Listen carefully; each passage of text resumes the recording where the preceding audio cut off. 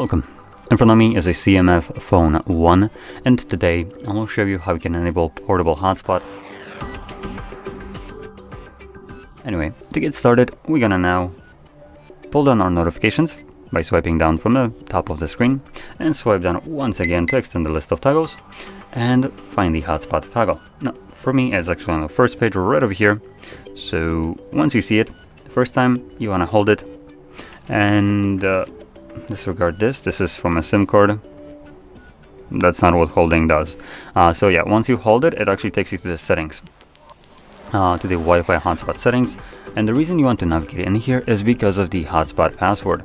By default the phone just randomly generates uh, random letters for a password and the numbers.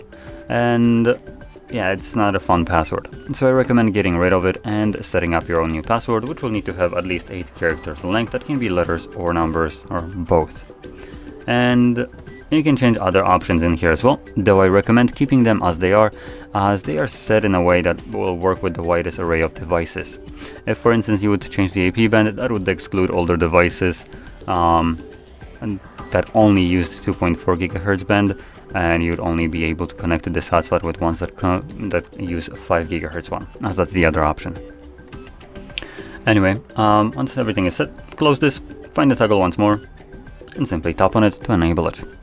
And once you're done using your hotspot, you can find this toggle once more and tap on it again to turn it off. Hotspot does consume more of your phone's battery, uh, but luckily we do have this option in the settings, turn off hotspot automatically, so it does disable it after like 10 minutes of inactivity, so that's still, if you forget about it, you don't need to worry too much, the device will turn it off for you.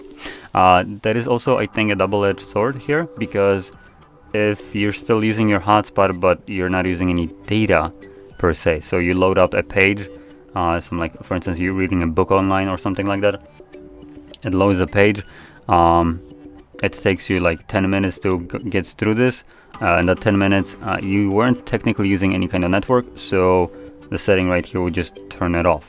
So if you ever encounter that your hotspot just turns off when you still technically were using your hotspot uh, you can turn that off and the problem should go away now, with that being said, if you found this very helpful, don't forget to hit like, subscribe, and thanks for watching.